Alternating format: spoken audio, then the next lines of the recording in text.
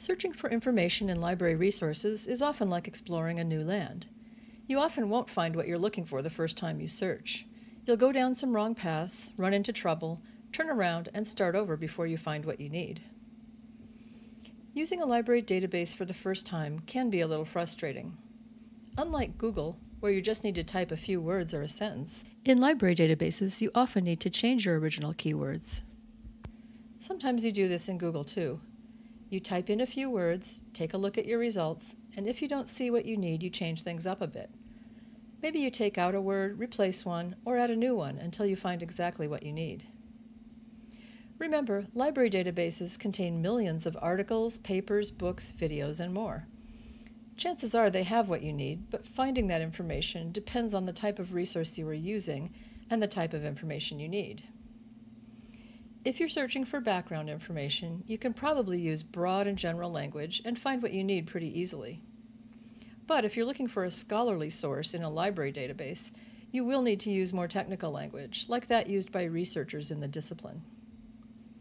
As you scan your results, take a look at some of the words in the titles of articles or abstracts and see if you can add those to your search.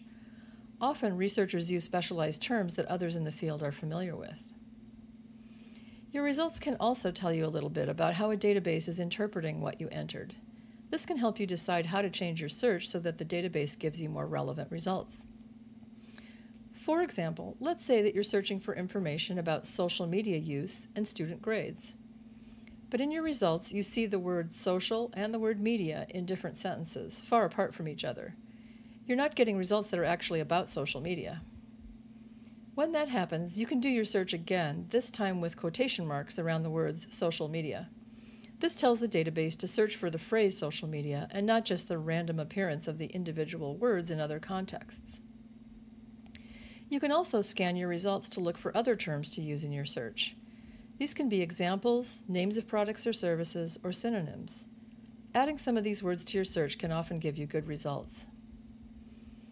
The first time you try a search, you may find articles that are not quite what you need, but close. For example, if you're searching for articles on the labeling of GMO foods in the US, but you're seeing results about it in other countries, adjust your search to include a geographic area.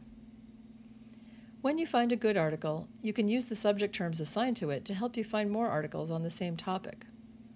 Subject terms are like tags that the database gives to articles so you can find similar articles easily. When you notice these, click on the subject term that is relevant to your topic. This will give you articles that are actually about the topic rather than articles that just mention your words in passing. When you find the perfect article, you can use it to locate other resources. The author of that article already did a lot of research, and you can use their list of works cited to find more articles on the same topic. So remember, when searching library databases, your first search will probably not be your last. You'll need to take a look at your results and use them to decide how you can change your search so that you can find the most relevant resources.